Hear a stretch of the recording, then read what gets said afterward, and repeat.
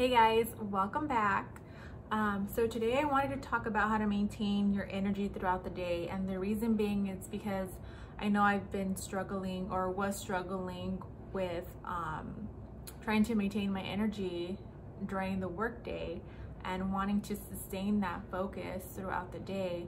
So I was wondering what I was doing wrong and did a little research and started implementing those things. So let's get to it. So first things first, when I wake up, I do like to drink my water. Um, reason being is because our bodies are super dehydrated from being asleep all night and not having any kind of uh, liquid intake at least for me because I know if I'm drinking water at night then I'm not going to be able to go to sleep and I'm going to be doing it's going to be running to the restroom and getting rid of all that water that I just took. Um, so again, it's just being dehy dehydrated, being hydrated, not dehydrated, and trying to, to make that a goal of eight glasses of water a day. I always have water next to me. I'm never letting my cup be low. So I've actually heard that it's a, a thing that triggers your brain that if you always have your cup filled, then you're more likely to drink out of it. I don't know if that's true, but I've been doing it because if I hear that something helps, then I'm gonna do it. And if I think it's helping me, then I'm gonna continue doing it. Um, so I'm gonna go ahead and pass that on to you guys. Um, so another thing that I like to do is try to eat. I know I struggle with eating in the morning, so my breakfast is usually small, but at least it's something. Um, I try to make a protein shake or some scrambled eggs or even um, toast or a bagel. Um, I'm okay with having heavy carbs in the morning, but um, usually I try to wing that in the evening because I know I'm not gonna be able to burn everything off.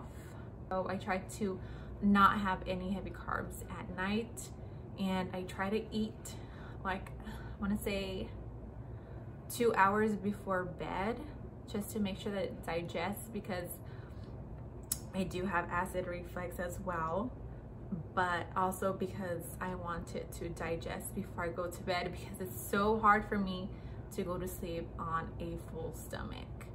And that is not good for somebody who has um, what's the word again? What did I mention? Um, acid reflux.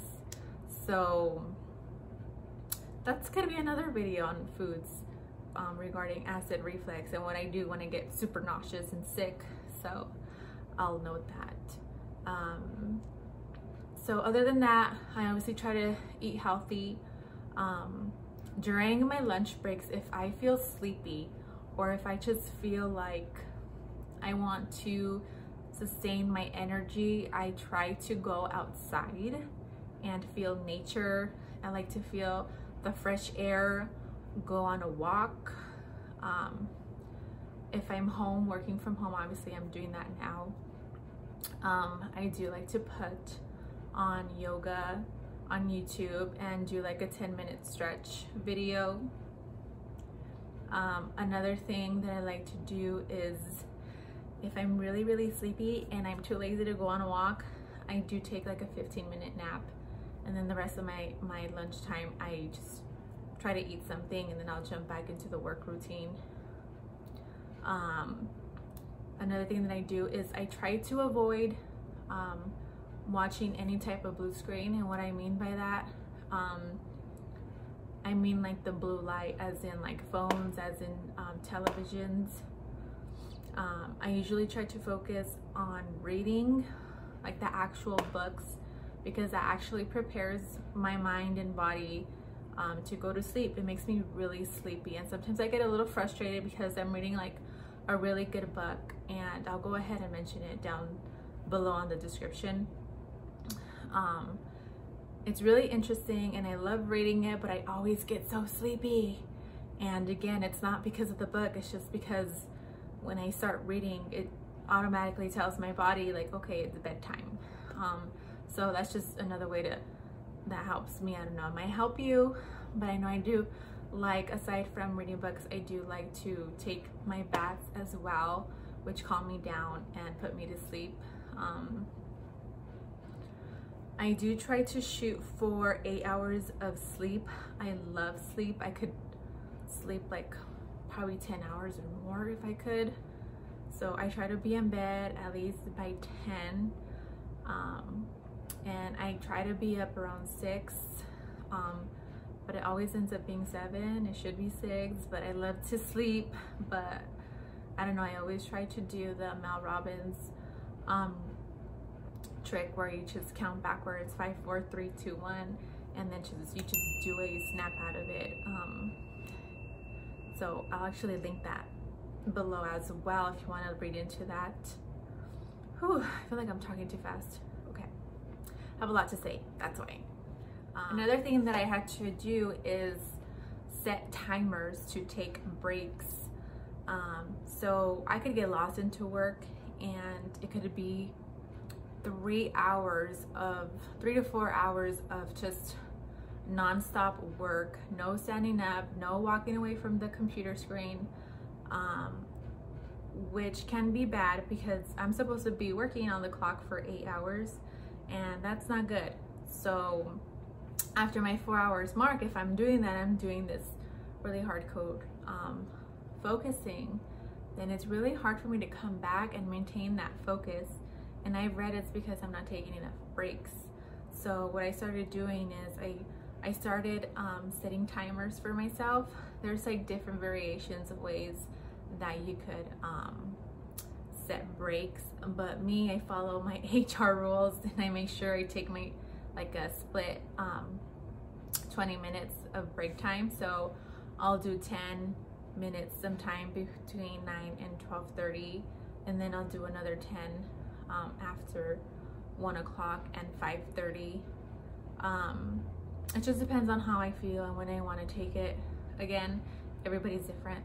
So it's really up to you and it depends what how you want to take your break. Uh, lastly that I would recommend would be um, to be social.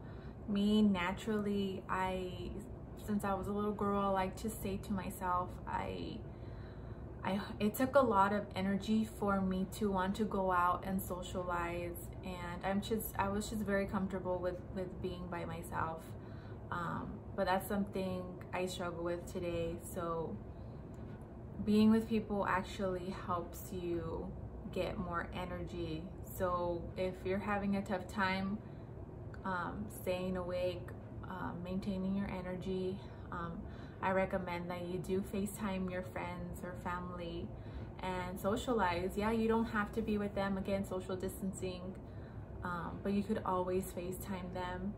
I know that I love to FaceTime my nieces and um, I do love to FaceTime my sisters. I also like to check in on my parents.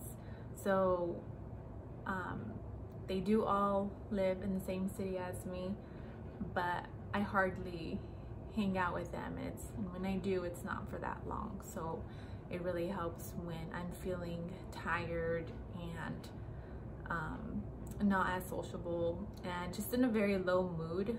Um, that helps me a lot and my whole mood changes after I get off the phone with them and then all of a sudden I have this whole new perspective on the amount of energy I have and it's very interesting the way it works that's all I have for you guys today. I will try my best to link resources that helped me out in maintaining my energy and whatever issues I found out that I have and that I needed to change in order to maintain that.